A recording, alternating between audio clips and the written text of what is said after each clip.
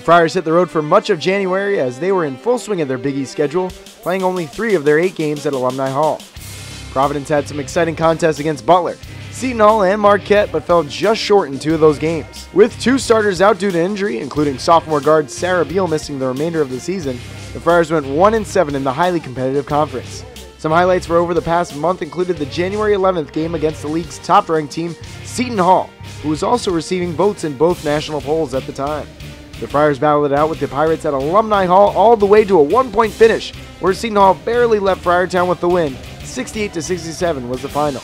Alexis Harris and Shanice Baldwin each picked up double doubles, and Evie Escola shot for her season best 19 points. On January 23rd, the Friars earned their first road victory of the season in Milwaukee, Wisconsin, when they played Marquette. Down 12 in the second half, the Friars rallied to defeat the Golden Eagles 66 to 58. Baldwin helped the Friars down the stretch with her 14 points, all coming in the second half. Freshman guard Allison Lewis posted a career high 17 points. Rounding things out, Alexis Harris led the Friars in rebounding with 11 rebounds. Now let's send it over to Friar Hoop Scoops reporter Chris Fama. Thank you once again, Nick. As always, the Hoop Scoop coming to you from the road in a lovely Marriott hallway. My name is Chris Farmer, along with senior guard Corinne Robinson. Corinne, I say senior guard, and I think here's your final chance, your last season. Your basketball life has taken you all over the country.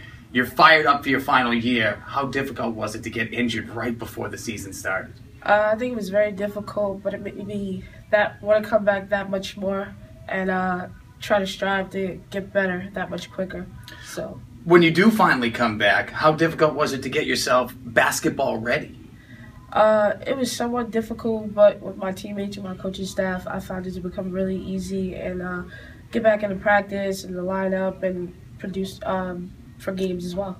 Speaking about being in the lineup, sort of thrust into a starting role with all the injuries that happened with both Sarah and Tori going down. But you've been playing some great minutes since the injuries occurred. Uh, how good does it feel to be out there producing the way you are? Uh, it feels really good. I have great teammates to support me with that, great uh, coaching staff, and it becomes a lot easier when you have people behind you like that. Now, during all of this, your family had a bit of a setback, a tragedy with the home burning down. How has that affected your game, but more so, how has it affected your personal life? Uh, I feel like it's affect in the beginning it affected my game a lot because I wanted to be at home with them and that's all I could think about. But as far as personal life, um, I feel like it's affected me a little, but it's happened before, so it's kind of like, all right, well you can't do anything about it. It's time to get back on your feet and keep moving forward because that's what they want you to do. And tell me about the support that you received, not only in Friartown, but outside of Friartown. Uh, support outside of Friartown has been phenomenal. Like, it's just something I can't explain. Like, I didn't expect it at first, and when it did come, it was speechless. It had.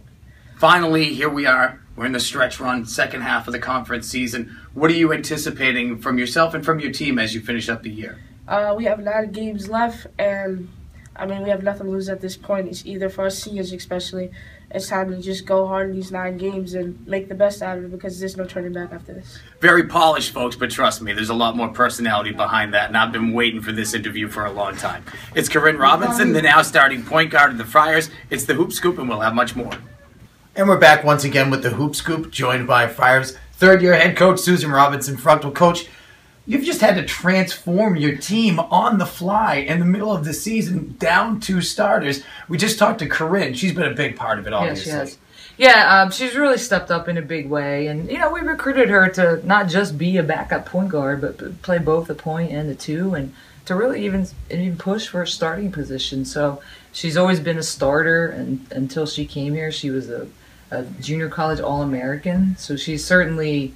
Uh, had great moments in her history of leading teams. Mm-hmm. And, you know, we really kind of expect nothing less in, in this case. Not just with personnel, but how have you gone through this transformative phase? What are you, what's your team doing now that's different than you expected them maybe doing when you had Sarah and Tori in the lineup? Well, I think the one, one thing they talk about is uh, and the kid we talk about as coaches but the kids talk about it is everybody they know each person has to step up their role and so i think each person has done that a little bit, mm-hmm. um, and they continue to work to improve every day. This really is three seasons, and you're about to start the third season, the second half yes. of the conference schedule. What has your team learned already?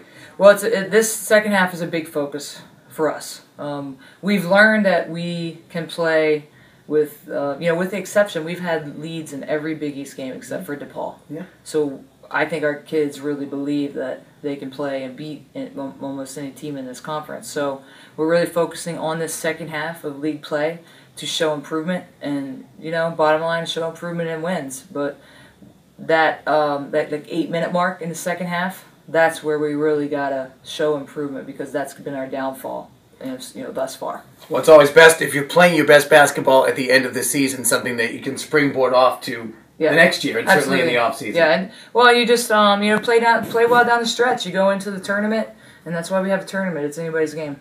Big East basketball take two, the second half of the season. It's the coach. It's the hoop scoop. Back to Nick. Thanks, Chris. The Friars have two home games left this month and will be on TV or online services for most of their remaining games. Trips to St. John's and Creighton will be broadcast on ESPN3 and the Big East Digital Network before they come home on the 20th to take on Marquette and DePaul. We'll have more information on that game in just a second. The Friars finish off the month on the 27th with a game against Villanova. That game will be broadcast nationally on Fox Sports 1. And looking ahead to March 1st, the Friars take on Georgetown at home for the final game of the regular season before the Big East tournament.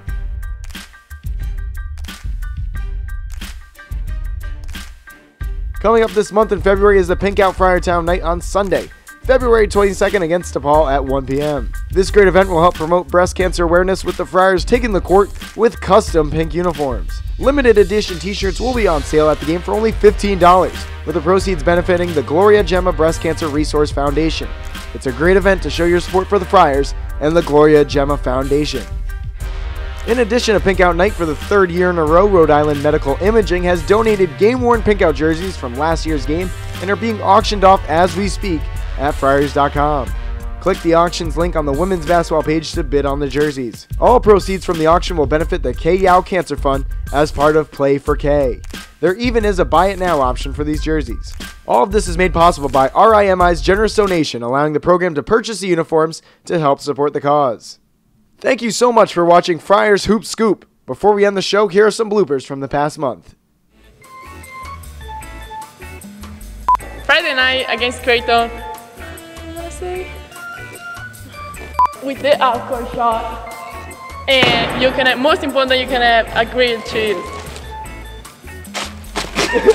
you have a bite of, you have a bite. uh, you can have, most important, you can have grilled for, grilled? Look at that.